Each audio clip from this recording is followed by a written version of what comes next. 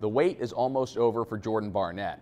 The transfer from Texas will finally make his long-anticipated Mizzou debut Saturday at 2.30 p.m. here at Mizzou Arena when the Tigers take on Eastern Illinois.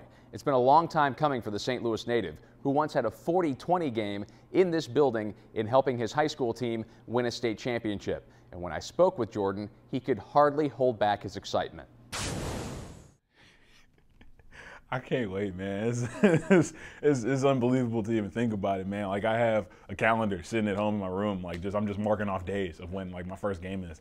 You know, it's it's great that it's against uh, Eastern Illinois. You know, I know a couple players. You know, I've played with and played against um, a couple players from that team. You know, in St. Louis, so uh, it'll be great to be playing against them. You know, see them on the court and see how they're doing. So it'll be it'll be so fun. I really I really can't I can't wait. It's gonna be oh, it's gonna be a show.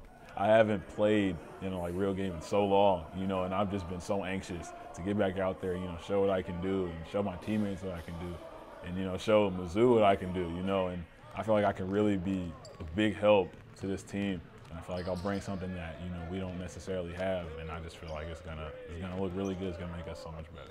What is that thing that you want to bring to this team to help fill out the uh, the 16, 17 Tigers?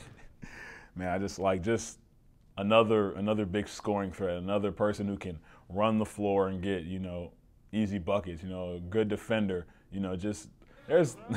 I'm not trying to hype myself up or anything, but you know, I just feel like there's a lot of stuff I could bring that could really help this team. You know, so because right now we need it.